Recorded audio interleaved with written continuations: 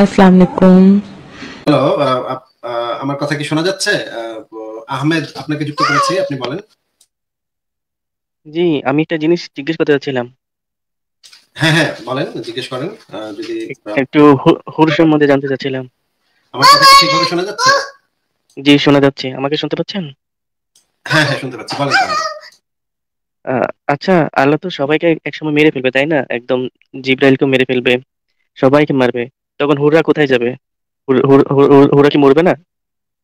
ভাই, এটা তো বলতে পারব না। হুটদের হুটদেরও তো মারার কথা। টেকনিক্যালি চিন্তা করলে তো হুটদের হুটদেরও মারার কথা। কিন্তু এখন এই ইসলামের বিষয়গুলো তো আসলে মেলে না। একটার সাথে আরেকটার কথা মেলে না। যেমন ধরেন, বলা হয় যে কেয়ামত হবে, তারপরে বিচার হবে, তারপর সবাই জাহান নামে জান্নাতে যাবে।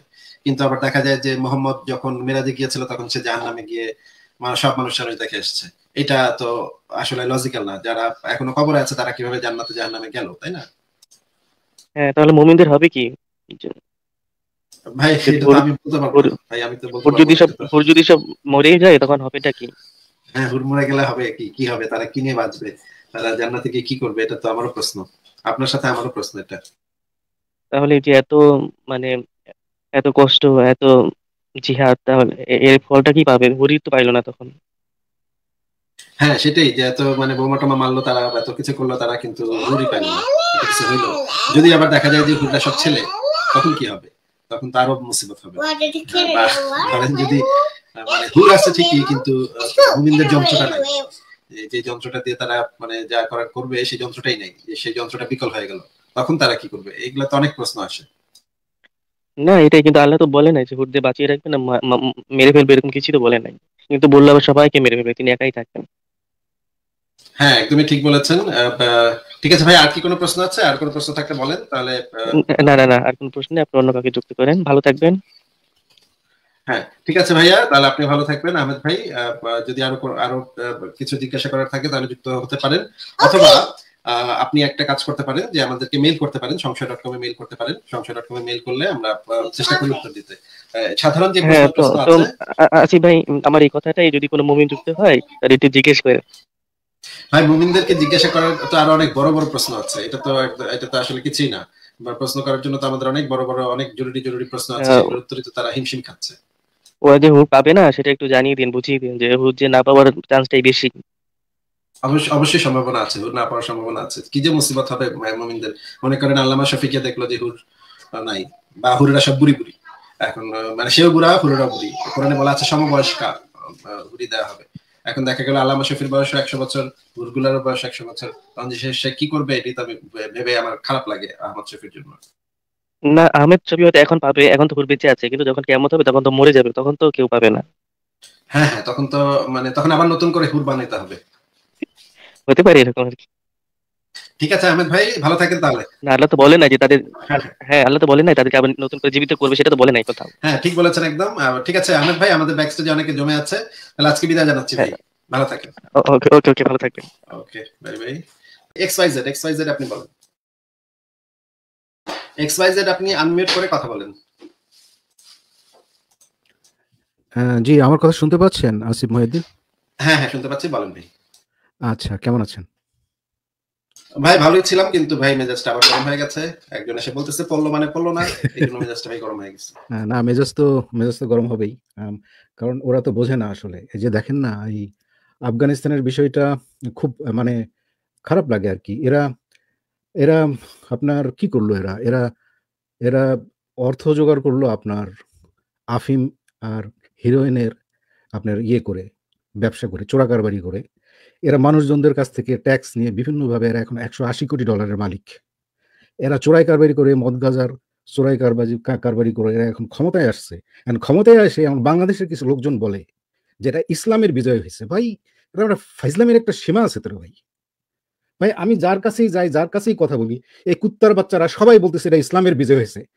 মানে আফিম আর হিরোইনের ব্যবসা করে কেউ আমার আমার মাথায় ঢোকে না রে ভাই, বুঝছেন? আপনি আপনি এর ব্যাপারে কিছু বলেন, আমি একটু শুনতে চাই। ভাই, এটা নিয়ে তো আমি অলরেডি লিখে ফেলেছি ফেসবুকে স্ট্যাটাস লিখে ফেলেছি, অনেক, অনেকগুলো স্ট্যাটাস লিখেছি এটা নিয়ে। অনেকবার কথা বলেছি, আমরা এই জিনিস, এই যে তালেবানদের আইসিস এর বোকো হারামের এদের সবারই বিরোধিতা করি, একই সাথে বিরোধিতা করি। বাংলাদেশে যেই বাংলা হবে আফগান, আমরা হব তালেবান, এদেরকে আমরা বিরোধিতা করি। এদের বিরুদ্ধে আমাদের এই লাইভগুলা মানে অনেক বছর ধরে আমরা এই কাজগুলো করছি। আমাদের, আমার তো আসলে আলাদা করে আর মানে এটার প্রতিবাদ করার প্রয়োজন নাই। প্রতিবাদ অন্যরা করুক ভাই। আমি দেখছি ভালো ভালো শিক্ষিত লোক যারা সমাজতন্ত্র করতো যারা ইঞ্জিনিয়ার ডাক্তার ইউনিভার্সিটি থেকে পাশ করা বয়স হয়ে গেছে পঞ্চাশ ষাট বছর যাদের বয়স হয়ে গেছে এদের এরা বলতো কি যে তালেবানের সাথে ইসলামের কোনো সম্পর্ক নেই। তালেবানের সাথে আমেরিকার সৃষ্টি। এটা হচ্ছে আমেরিকার সৃষ্টি এখন তারা খুশিতে নাচতেছে। এখন হচ্ছে তালেবান হচ্ছে তালেবানের জয় মানে ইসলামের জয় হয়ে গেছে। ভাই মানে ডবল স্ট্যান্ডার্ডের তো একটা মানে সীমানা আছে তো ভাই। মানে পুরো বাংলাদেশটাকে কিন্তু শেষ করে দিছে বুঝছেন? বাংলাদেশের লোকজনরা খুব লিবারেল ছিল ধর্মীয় ব্যাপারে কিছুদিন আগেও। এখন তালেবান ছাড়া কোনো কথাই নেই সেখানে। হিরোইন কারবারি আফিম কারবারি এরা হয়ে যায় ইসলামের ঝান্ডাধারী। মানে আমি তো ভাই বুঝতে পারি না। আরে যে পাঞ্জেশ্বর পাঞ্জেশ্বরী যে প্রায় কত লোক আছে? পাঞ্জেশ্বরীতে প্রায় এক লক্ষ সত্তর থেকে এক লক্ষ আশি হাজার লোক সেখানে আছে এবং তারা সবাই মুসলমান। এবং এই মুসলমানদের উপর তারা আক্রমণ করতেছে তারা তাদের দাবি একটাই যে তারা স্বাধীনতা চায় বা তারা তাদের রাইটস চায়। They wants their human rights মানে এখানে সমস্যাটা কোথায়? সেখানে এই তালেবান বাহিনী যায় কি করতেছে? আক্রমণ করতেছে তাদেরকে আর সারা বিশ্ব তাকায় থেকে দেখতেছে যে এই এই দুই লক্ষ লোক এখানে এখানে যে মানবেতর মানবেতর ভাবে তারা মানে লড়াই করে যাচ্ছে একটা বিশাল জঙ্গি বাহিনীর সাথে আর সারা বিশ্ব তাকায় থেকে দেখতেছে। এবং তারা আর কেউ না ভাই, তারা আর কেউ না, তারা হচ্ছে এই মুসলমান। আমি আশ্চর্য হয়ে যাই। ভাই, তারপরে সব মুসলমান কিন্তু আসলে এরকম না। যারা হচ্ছে মুমিন, যারা হচ্ছে ধর্মে একদম মানে কঠিন ভাবে বিশ্বাস করে তাদের ইয়ে আমরা করছি, তাদের নিয়ে আলোচনা আমরা করছি। সব মুসলমান আমাদের আলোচনার বিষয়বস্তু না। কিন্তু আমি যেটা বুঝি যে আইসিসে যদি আজকে জিততো, তাহলে তারা এখন আইসিস হয়ে যেত, তারা এখন আইসিস কে সমর্থন দিত। এগুলো খুবই দুঃখজনক এবং খুবই হাস্যকর আসলে, তারা যে কাজগুলো করে। এক্স ওয়াই ভাই, বলেন তাহলে আপনি। না, এখন আর আসিফ মহিদিন এখন আর আমার হাসি পায় না, আমার খুব কষ্ট লাগে। এই যে মানুষগুলো মারা যাচ্ছে, এবং দুই পক্ষেরই মানুষ মারা যাচ্ছে। এবং এখন এই আফগানিস্তানের মেয়েরা মেয়েরা যা সাংবাদিক ছিল হলো প্রায় সাতশো মহিলা সাংবাদিক ছিল। এখন মাত্র তিরিশ না পঁয়ত্রিশ জন সাংবাদিক এখন তারা সাংবাদিকতা করছে। তাও জীবনের ভয়ে তারা বিভিন্নভাবে বিভিন্ন রকম টেকনিক করে তারা এই সেই সাংবাদিকতাগুলো করছে। এগুলো কি এগুলো কি মানে মানে এই এই মানে ধ্বজাধরা মানবাধিকারের লোকজনগুলো যে ধর্মীয় লোক যে রেজাউল নাকি ফাজলামি করার জায়গা পায় না যে রেজাউল আসলো কিছুক্ষণ আগে বেটা মানে মানে আমার তো মানে মানে গালেতে ইচ্ছা করে। এরা এরা কিসের মানবাধিকার এরা এখানে মানে দেখাইতে আসে? মানে আমি আমি আশ্চর্য হয়ে যাই এরা এরা এরা কি এরা? এদের ভিতরে কি মানবতা আছে ভাই?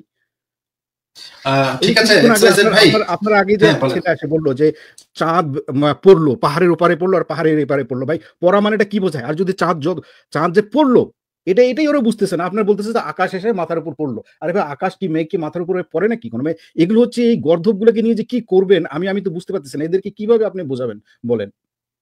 ভাই, সমস্যা হচ্ছে যে এদেরকে একদম স্কুল থেকে এই ধরনের মানে এইভাবে স্টুপিড করে ফেলা হয়। মানে একেবারে মাথাটা একেবারে নষ্ট করে ফেলা হয়। এখন এদেরকে তো আমি ঠিক করতে পারব না, ভাই। সবাইকে তো আমি মানে ঠিক করা সম্ভব না আমার পক্ষে। আমারও তো লিমিটেশন আছে। একেবারে মনে করেন, এই টাইপের মুমিন যে এখানে লেখা আছে, পড়ল পড়ল মানে পড়ল না। সে বলতেছে, পড়ল মানে পড়ল না।